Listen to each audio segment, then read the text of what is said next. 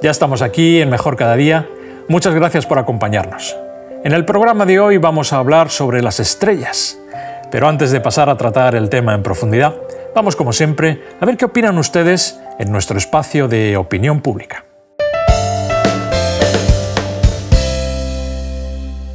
Una materia que crea energía. Pues un punto en, en el espacio. Pues una estrella es un astro celeste que tiene luz propia, ¿no? Una estrella es una acumulación de, de gases, de helio, de hidrógeno. Un conjunto de materiales que están ahí en el cielo. Bueno, nosotros lo vemos en el cielo, pero están en incandescencia y todo eso, siempre en funcionamiento, etc. etc. Pues un conjunto de estrellas, con las estrellas juntamente con eh, los planetas y los satélites que tienen esos planetas, eh, todo en su conjunto forman una galaxia. Un conjunto de estrellas. Un conjunto de astros y planetas. Pues un conjunto de estrellas que orbitan alrededor de un eje común. Un conjunto de estrellas. Ya llevamos eh, miles de años quizá preocupados por eh, el universo. Antes lo mirábamos con ojos mm, como si fueran dioses, ahora lo vamos viendo como un elemento más de la naturaleza y vamos entendiéndola mejor. Pero al mismo tiempo que la entendemos mejor nos surgen otro montón de preguntas que nos hacen eh, casi como más inabarcables de este universo. A ver, si nos dedicamos a- aquí a la Tierra, estamos en la Tierra y, y ya está. Es importante el cosmos, sí, si vas a salir, pero si no sales fuera. Por supuesto que creo que es importante que hay que conocer todo lo que nos rodea porque cuanto más conocimiento mejor, ¿no? Pues claro que es muy importante porque el hombre pienso que nunca, no siempre vamos a estar en este planeta, ¿no? Tendremos que expandirnos, salir de aquí tarde o temprano. O sea, tarde o temprano esto se va a acabar. Hombre, siempre es importante conocer lo que hay fuera de lo que nosotros ya conocemos, así que el conocimiento no, no tiene límites. No es solamente el hecho de ver la lluvia de estrellas, sino eh, pues las coincidencias que surgen, la disponibilidad eh, abierta de unos con otros y se crea pues un clima que te hace ver eh, la lluvia de estrellas como si fuera algo mm, muy profundo y muy mágico. Lo único que he visto es un eclipse entre lo que es la luna y el sol, se interpusieron entre los dos. Fue bonito porque se hizo oscuro, siendo de día. Sí, me gustaría verlo más detalladamente, pero claro, el que depende del punto que estés, lo verás de una manera u otra. Eh, pues sí, sí que he visto un fenómeno como este, una lluvia de estrellas y es una experiencia fantástica para pasarlo con alguien especial. Pues sí, he contemplado lluvia de estrellas, eclipse pues parcialmente, nunca he visto un eclipse completo ni de sol ni de luna. Pero la lluvia de estrellas me gustó mucho, es un espectáculo precioso. Sí, claro que he visto y sí, es bonito ver una lluvia de estrellas ahí con una chiquilla ahí en la playa, siempre es bonito. Y un eclipse, hombre, es, es enigmático, es, es- te llama mucho la atención. Y sí, me gustaría repetir la experiencia.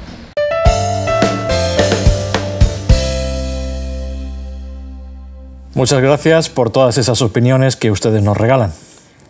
Pasamos ahora a conversar con nuestro invitado de hoy, don Juan Carlos Pulleiro. Él es bioquímico y profesor. Muy bienvenido al programa, Juan Carlos. Gracias, gracias, aquí estamos.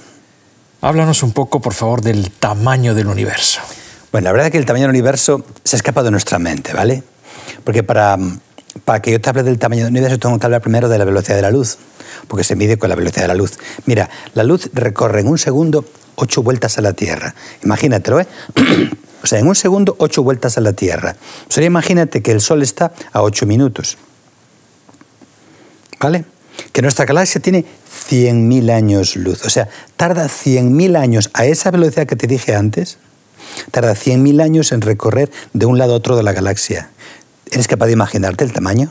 Pero ahora, la galaxia más próxima, que es Andrómeda, está a 4 millones de años luz. O sea, la galaxia que está al ladito, la más cercana, tarda esa luz que te dije antes que hacía 8 vueltas a la Tierra en un segundo, a toda la Tierra, ¿eh? tarda 4 millones de años. A la más cercana, ¿eh? Ahora imagínate si hablamos de mil, dos mil, tres mil millones de años. Se ha descubierto hasta 13.600 millones de años. O sea, galaxias que están a esa distancia. ¿Sabes lo que es esa distancia cuando la luz, a esa velocidad que te dije antes, tarda 13.000 millones de años en recorrerlo? Es que se nos escapa de nuestra mente el tamaño del universo. De hecho, el universo está prácticamente vacío, ¿sabes? Está prácticamente vacío. Eh, ¿Cuál es la estrella más cercana después del Sol? Bueno, pues la estrella más cercana se llama Alfa Centauro, ¿vale? Alfa de Centauro, está a cuatro años y medio luz. O sea, que la luz tarda en llegar de allá a acá cuatro años y medio. ¿De acuerdo? si lo hiciéramos una comparación, mira, si la Tierra estuviera a un metro del Sol, Alfa Centauro estaría a 70 kilómetros. Es para que te imagines un poco que está prácticamente vacío el universo, prácticamente vacío. ¿Qué, qué es una estrella? Bueno, una estrella, como dijo muy bien una de las personas que entrevistaron, es un cuerpo celeste con luz propia. Digamos, así es la definición del libro, ¿no? Es un cuerpo celeste con luz propia. Pero bueno, una estrella, eh, la vemos de noche, ¿verdad? Es un cuerpo bastante grande, tiene que ser grande para que tenga esas reacciones nucleares y emite esa luz característica ese brillo característico. ¿no? Eso es una estrella. ¿Cómo se forman las estrellas? Pues mira, las estrellas se forman de la manera siguiente. Hay lugares en el espacio que hay mucho, mucho gas, mucho polvo, sobre todo mucho hidrógeno, mucho helio. Entonces, lentamente, eso se va, como se atrae, la materia se atrae, lentamente se va juntando como los gases, cuando los gases se juntan, se calientan. Y a poco movimiento que haya, al juntarse, van más rápido. Entonces empieza, digamos, ese gas a juntarse, a calentarse, a girar lentamente. Cuando alcanza un tamaño suficiente, que la temperatura del centro es muy elevada, comienzan las reacciones nucleares, comienza la fusión, hidrógeno más hidrógeno, helio, que es, digamos, lo que le da luz a la estrella. Entonces, en función del tamaño, pues así también es la vida de la estrella. ¿Cuál es el, digamos, el, ciclo de vida de una estrella? Mira, las estrellas nacen, viven y mueren, o sea, se parecen un poco a los seres vivos, ¿no? Nacen, como acabo de comentar ahora, de las, donde hay mucho gas y demás. Tienen una vida que depende del tamaño mucho, ¿eh? Si yo te preguntara, ¿cuál crees que bebe más? ¿Una estrella grande o una estrella pequeña? Lo lógico es decir la grande, ¿verdad? Pues no. Las estrellas grandes tienen una vida muy corta no sé si podría explicarlo ahora, pero hay un, hay un equilibrio entre fuerzas de la gravedad y las explosiones, que una estrella muy grande con tanta gravedad fuerza al horno a ir mucho más rápido, a quemar mucho más rápido el combustible. Una estrella muy grande puede vivir 100 millones de años y se acaba. Una estrella como el Sol puede vivir 10.000 millones de años. Y de hecho, de hecho, hay un proceso que a mí me encanta explicar porque es muy bonito. ¿no? Las estrellas, hay generaciones de estrellas.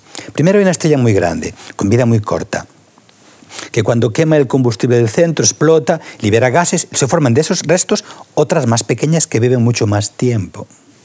Bueno, y las estrellas mueren. ¿Cuándo muere una estrella? Cuando se acaba su combustible. Cuando se acaba el combustible del núcleo, no de la periferia, ¿vale? O sea, no se acaba todo su combustible, porque no se quema el combustible de la periferia, solo que se quema el del núcleo. Concretamente en el Sol, ahora mismo se ha quemado, se ha quemado ya la mitad del combustible del núcleo. El Sol tiene unos 5.000 millones de años y calculamos que le quedan otros 5.000 millones de años, está a la mitad de su vida. Tiene prácticamente un 49% de hidrógeno en el núcleo, un 49% de helio y un 2% de otros materiales. Bien, ¿qué pasa cuando una estrella se muere? Hay un proceso que a mí me gusta hablar de él porque es un proceso muy bonito. Bueno, en realidad cuando una estrella se acaba su combustible, la gravedad hace que la estrella implote. Hay un proceso que es difícil explicarlo ahora, pero, pero la estrella se, encoge, entonces aumenta mucho más la temperatura y empiezan otras reacciones, no ya con hidrógeno más hidrógeno helio, sino con helio más helio formando carbono, nitrógeno, oxígeno. Eso dura muy poco tiempo y emite mucha luz. En ese periodo, si la estrella es grande, forma una supernova. ¿Sabes que la supernova puede brillar más en ese proceso, que puede ser un año o dos, puede brillar más que en toda la vida de la estrella? ¿Tú te imaginas que, que una estrella que tiene una vida de 5.000 millones de años, que en dos años brille más que los 5.000 millones de años, anteriores? Pues bien, las supernovas alguna vez aparecen en el cielo alguna. De hecho, la, la, palabra nova viene de nueva estrella, porque en el pasado de repente había una estrella nueva. ¿Qué ha ocurrido? Una, nova, una supernova, una nova, ¿no? Fíjate, las supernovas tienen una vida corta y una luz increíble. Generalmente ocurre una supernova cada 100 años en cada galaxia. Y los astrónomos ven cada día supernovas en diferentes galaxias en el universo. Mm. ¿Qué ocurriría si una de estas supernovas explotara cerca de la Tierra? Mira, cuando decimos cerca, decimos 500 años luz mm, para, para hacer nosotros. Pero sabes que 500 años es muy lejos, pero bueno, vamos a suponer 500 años. Pues nos afectaría mucho. Bueno, nos afectaría sobre de la manera siguiente. Tanto brillaría que durante el día habría como dos soles. Y de noche brillaría más que la luna. O sea, una supernova, el, aspecto fundamental es que brilla muchísimo en muy poco tiempo. Entonces, habría, digamos, una temporada durante un par de años, dos soles. Uno en nuestro Sol hay a 8 minutos, otra una supernova brillando muchísimo a 500 años, de, 500 años luz de distancia, pero que la veríamos como el Sol. Y de noche no habría noche.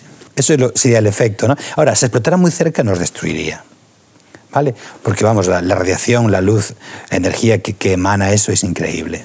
Por eso, fíjate, nosotros estamos protegidos. Estamos en una zona relativamente de pocas estrellas. No hay, estrella- no hay muchas estrellas cerca. O sea, si hubiera cerca, una, una que explotara en supernova nos destruiría. Estamos protegidos. O sea, Dios nos ha colocado en un lugar adecuado.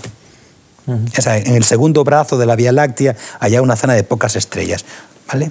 Qué curioso. Oye, ¿es cierto que fuimos creados dentro de una estrella?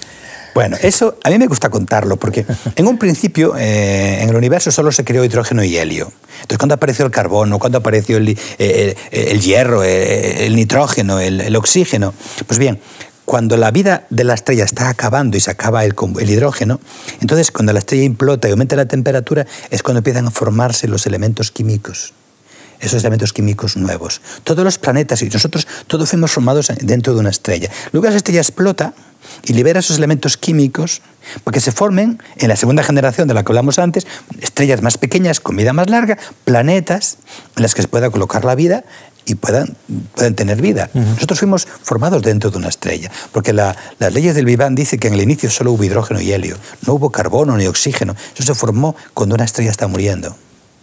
Eh, ¿Siguen naciendo o generándose estrellas en la actualidad? Mira, constantemente están naciendo y muriendo estrellas, constantemente. O sea, eh, es un proceso muy bonito. Como antes comenté, hay varias generaciones, ¿no? Están constantemente naciendo estrellas que tienen su vida de 5.000, 10.000 millones de años, luego mueren, luego de esas pueden salir otras. O sea, la muerte de una estrella es el inicio de nueva vida, nuevos planetas, nuevas estrellas incluso, o sea, no es el final de todo en absoluto. Eh, antes me voy a comentar una cosita importante. Ha habido una mm, supernova famosa en la historia, quería comentarlo. Por el año 1054, hace ya mil años, 1054, hubo una famosa supernova que están, eh, está eh, escrito sobre ella por parte de árabes, de indios, de americanos incluso. Fue una supernova que mm, duró 22 meses y durante la noche se veía como la luna y durante el día se veía se veía durante el día, te imagínate si, si alumbraba. Luego, hace unos años, se descubrió cuál había sido esa supernova. Ahora se le llama eh, cangrejo, ¿no? Eh, lo que es el cangrejo, lo que es la nebulosa del cangrejo, fue lo que hace mil años explotó en forma de supernova. Ahora ya lo podemos ver y conocer. ¿De qué están compuestas las estrellas? Bueno, básicamente de hidrógeno y helio, ¿vale? Que es la inmensa mayoría de lo que está formado el universo. Se va gastando el hidrógeno, se va convirtiendo en helio y de eso es, eso forma el horno nuclear que le da esa energía increíble, esa energía increíble a las estrellas. La temperatura en el centro de una estrella es de unos 15 millones de grados, pero la periferia es mucho menos, 6.000 grados en el caso del Sol, por ejemplo. Tarda de hecho mucho tiempo en llegar esa energía del centro a la periferia. Oye, ¿hay una clasificación de estrellas? ¿Existe? Sí, hay una clasificación, es muy amplia para que yo la refleje aquí, en función del color, de la temperatura, en fin, de muchas cosas, ¿no? Enanas blancas, enanas marrones, estrellas de neutrones, incluso en función a estrellas A, B, C. Hay estrellas, por ejemplo, pues fíjate, hay las naranjada amarillentas, naranjada verdosas, las verdes, las azules. O sea, hay una clasificación enorme, porque en función del tamaño y la temperatura, así es el color. Entonces, claro, una estrella, eh, cuanto más grande, digamos que menos ves el color interior, ¿vale? Más lo difumina, entonces va cambiando. Nuestro Sol es una estrella amarilla normal, por ejemplo.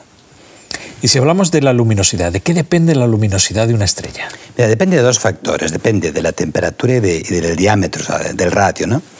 Es muy importante la luminosidad porque nos ha permitido saber a, a qué distancia están las estrellas. Porque mira, han descubierto un tipo de estrellas todas con el mismo tipo de luminosidad.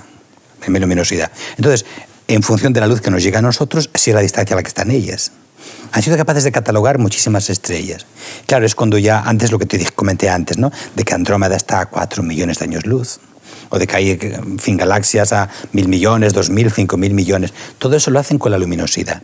Porque, repito, saben eh, un tipo de estrella cuál emite, qué, qué luminosidad emite. Entonces, viendo la luz que te llega a ti, sabes a qué distancia está. Oye, todo lo que nosotros observamos en el cielo durante las noches, ¿no? Todo lo que vemos como estrellas, ¿son estrellas? ¿O hay algo que vemos que no son estrellas? No, no son estrellas. Hay dos cosas que yo quería comentar. En primer lugar están los planetas, ¿no? Por cierto, planeta en griego significa errante o vagabundo, vagabundo. Entonces, realmente los planetas brillan, pero no es igual que la estrella. Para empezar, no, no tintilean, no, no, es un brillo es estable, constante, ¿no? Porque están cerca, relativamente cerca. Los segundos se mueven. Por eso los griegos, cuando descubrieron los planetas, llamaron eso, pues vagabundos, ¿no? Porque en realidad eh, no van como juntos todas las estrellas. Entonces, los planetas se mueven. Hay una cosa también muy interesante. Yo no sé si habéis observado alguna vez un satélite artificial. ¿Lo has eh, observado alguna vez, un satélite artificial? Sí, sí, sí. ¿Os dais cuenta que es casi como una estrella, pero va moviéndose lentamente sin parar? Yo reto a la gente que se tumbe relajadamente de noche, mire las estrellas y, y busque algún puntito que no para, que se mueve. Evidentemente no es una estrella que no puede ir tan rápido, ni ningún planeta, es un satélite artificial. A veces es divertido verlos, ver cómo continúan a lo largo del espacio. ¿no? Bueno, pues eso es lo que hay en el, en el cielo de nocturno. ¿Qué es una estrella fugaz? Mira, eh, para hablar de estrella fugaz hay que hablar primero de cometas. ¿Sabes si los cometas recorren órbitas en torno al Sol? Los cometas son, suele llamarse una nube, un, perdón, nube, un trozo de hielo sucio, porque los cometas son de hielo sucio, con un poco de polvo y tierra. ¿no? Entonces, ¿qué ocurre cuando un cometa llega cerca del Sol? Se sublima y parte del hielo se, se evapora. Pero al cabo de un tiempo vuelve a transformarse hielo y va dejando un rastro por donde pasa un rastro a veces de muchísimas partículas, va dejando trocitos. ¿Qué ocurre cuando la Tierra pasa por ese lugar? Porque todos esos trocitos de hielo impactan contra la Tierra, se ionizan. Entonces, eso es una estrella fugaz. Digamos, una estrella fugaz es eh, cuando chocamos con los restos que dejó un cometa cuando pasó por allí. Fíjate, a veces el cometa pasó 200 años antes. Mira, las estrellas fugaces suelen convertirse en luz entre 80 y 100 kilómetros de la superficie. Ahora, si son un poquito más grandes, consiguen llegar más cerca. Incluso puede ser una roca. Una roca puede llegar a la superficie. ¿no? Entonces, en función del tamaño, pues la luz se emite a 80 100 kilómetros o a veces pues, a la atmósfera, entonces se incendia o incluso a la Tierra. ¿Y una lluvia de estrellas? ¿Qué es una lluvia de estrellas? Una lluvia de estrellas es cuando al pasar por la cola de un, de un cometa, se produce una gran cantidad de impactos contra la Tierra. Por ejemplo, se producen eh, más de 60, por ejemplo, por hora. A partir de ahí para arriba, pueden llegar hasta mil impactos por, por una hora. ¿Tú te imaginas ver mil estrellas fugaces en una hora? Es impresionante, ¿no? Bueno, hay algunas famosas, en realidad hay muchas, hay unas siete al año famosas. Son en varios meses del año. Quizás las más famosas son las Leónidas, son allá por noviembre, cerca del 20 de noviembre, el 15 del 20 de noviembre. Le llaman Leónidas porque han observado que parece como que la dirección viene de la constelación de Leo, Leónidas, ¿vale? Luego también están las Perseidas o Lágrimas de San Lorenzo, que son en agosto, allá por, por el día de agosto y por allá, ¿no? También vienen de la constelación de Perseo. Entonces, hay lluvias estrellas periódicas. Pasa que, bueno, a veces, pues eso, son 40, 50 impactos a la hora, uno y pico cada minuto, pero hay momentos en que son una gran cantidad de lluvia de estrellas y hace una experiencia única, ¿no? Única. Oye, hablando de cálculos, ¿es posible establecer un número de estrellas en el universo? Más o menos, más o menos. A grandes rasgos, sí. Mira, calculamos que hay, las que vemos hasta ahora, 125 mil millones de galaxias. Y cada galaxia, las normales, tienen un promedio de 100 mil millones de estrellas. ¿Sabes lo que es 125 mil millones por 100 mil millones? Son números que se expresan ya, mm, ya no se lee, se dice 10 a la 23 estrellas. O sea, uno con 23 ceros detrás. Hay una cantidad de estrellas enorme. O sea, nuestro universo es un lugar, eh, bueno, enorme en tamaño, enorme número de estrellas, enorme en lugares para, para vivir, para habitar, para estar, para, para visitar, es enorme. ¿Qué es una galaxia? Una galaxia es, digamos, un grupo de estrellas. Eh, en el universo, digamos que hay un grupo de estrellas, luego una cierta distancia grande, otro grupo de estrellas. Antes comenté que nuestra Vía Láctea tiene unos 100.000 años luz de un extremo a otro, y a 4 millones de años hay otra galaxia, otro grupo de estrellas. Entonces, las galaxias son aglomeraciones de estrellas que están juntas. Tienen un núcleo, que a veces hay un agujero negro, ¿vale? A veces giran también en torno a su eje. Hay varios tipos de galaxias. Digamos que son las unidades fundamentales dentro del universo, las galaxias. Eh, ¿cómo, ¿Cómo es la Vía Láctea? en la que vivimos? ¿Cómo es? La Vía Láctea es una galaxia, es una galaxia normal, espiral, una galaxia que tiene unos 100.000 millones de estrellas, de las normales, eh, de las grandecitas, vamos, normales. Tiene varios brazos que giran del, del, centro. Yo creo que ya comenté antes que estamos en un lugar privilegiado. Tuviéramos cerca del centro, la vida sería mucho más complicada. Estamos en, las afueras, en, en, las afueras del segundo brazo, un lugar con pocas estrellas. Porque recordando lo que hablamos de las supernovas, es un problema que una supernova te explote cerca, ¿verdad? Es un lugar tranquilo de nuestra galaxia. El ser humano creía en el pasado que éramos el centro del mundo, el centro del universo. No somos el centro de nada. Ocupamos un huequecito en el segundo brazo de una galaxia espiral normal, en un punto normal de la galaxia. No somos el centro de nada. Oye, Juan Carlos, como, como científico, como cristiano también, eh, ¿crees que existe vida en otros mundos? Evidentemente creo que existe vida. A mí me sorprendería que todo el universo fuera para que nosotros, tan pequeñitos, fuéramos los únicos habitantes. Sería, sería, digamos, un desperdicio de todo, ¿no? Hay una pregunta que yo me hago a veces. Bueno, mucha gente se la hace también, ¿no? ¿Podrán venir a visitarnos extraterrestres? Yo creo que estamos, no sé cómo decir la palabra, ¿no? Estamos demasiado aislados para que alguien pueda venir a visitarnos. Antes te he comentado que la estrella más próxima, la más próxima, ¿eh? la que está ahí al ladito, está a 4,5 años luz. ¿Sabes cuánto le llevaría a, los seres humanos ir allá y volver a la máxima velocidad que somos capaces de alcanzar una nave espacial, que es enorme, son 50.000 kilómetros por hora? Pues bien, les llevaría 10.000 años ida y vuelta. Eso es imposible. Y si lanzáramos una señal para decirle hola, tardaría cuatro años y medio en ir y otros cuatro años y medio en volver. O sea que decimos hola y a los nueve años, hola, aquí estoy solo para decir hola a la más próxima. ¿Tú te imaginas que intentamos ir a una que esté a 500 años luz? Que es que es ahí al lado, que es que no es nada. Yo creo que es imposible comunicarnos con otros seres. Además es imposible que vengan aquí, es imposible que nos invadan, como algunos pueden pensar. La televisión es, en fin, mucha imaginación, ¿no? Por decir algo, ¿no? Sí, sí. Eh, ¿Qué crees que nos aporta eh, como seres humanos, ¿no? Conocer en profundidad o eh, tener más conocimientos acerca de este cosmos. Bueno, nos aporta muchas cosas. En primer lugar, yo pienso que el cosmos habla del creador también, ¿verdad? Dios es el creador y habla de perfección, grandeza, equilibrio, de una grandiosidad, de una luminosidad, de una perfección eh, asombrosas. Luego también es bueno porque es un poco nuestros orígenes. Como hablamos antes, fuimos creados dentro de una estrella. O sea, los elementos químicos que nos forman aparecieron dentro de una estrella.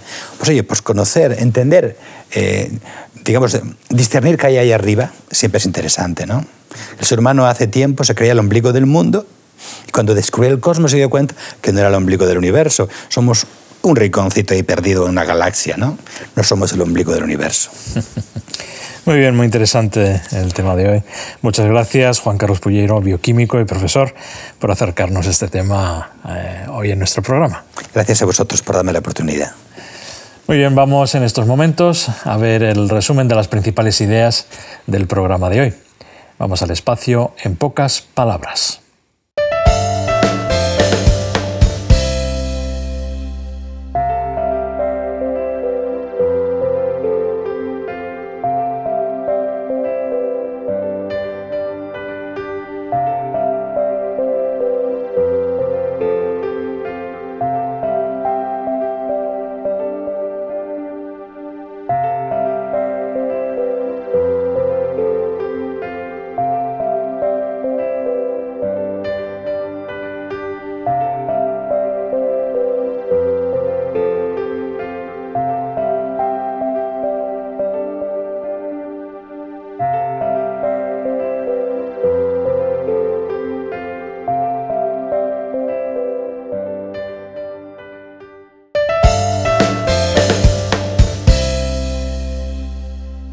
Nos vamos ya, pero antes les recuerdo que tienen a su disposición la web hopmedia.es, en la que pueden disfrutar de interesantes programas de televisión y radio a la carta. Y por supuesto la página web quecurso.es, donde encontrarán interesantes cursos totalmente gratuitos. Además ya saben que si desean hacernos llegar sus opiniones, dudas y propuestas para futuros temas, pueden escribirnos al programa Mejor Cada Día al correo electrónico info.hopmedia.es. Nos vamos, pero ya saben, les espero en el próximo programa. Muchas gracias y hasta pronto.